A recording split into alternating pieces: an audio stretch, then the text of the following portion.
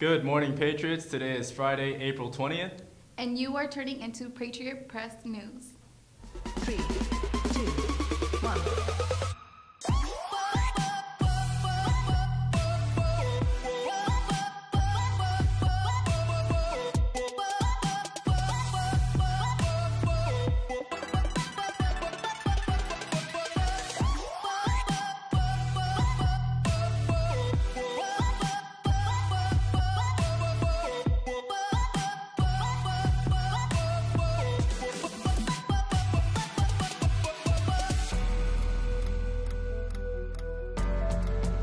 Hello, Heritage. I'm Vincent Chuap, And I'm Daniela Vargas.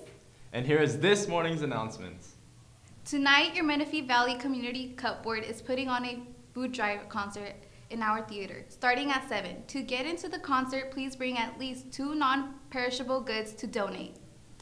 Prom is tomorrow at the Fox Theater in Pomona. Join us for a live DJ, rooftop banda band, photo flip books, games, cryogenic frozen treats, and memories to last a lifetime.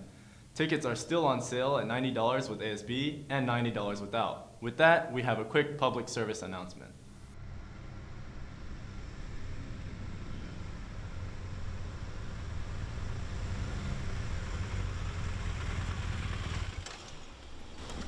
Good afternoon, Heritage High School prom attendees. The Menifee Police Department would like to remind you not to drink and drive, behave, and have a good time.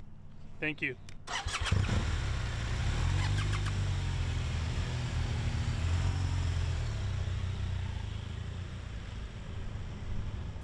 Good luck to varsity baseball and varsity softball today after school facing off against Elsinore. Softball has a home game today starting at 3:30. So be sure to make your way over to the field after school. That is our announcements for this week, Patriots. Have a great weekend, enjoy prom, be safe, and we will see you on Monday.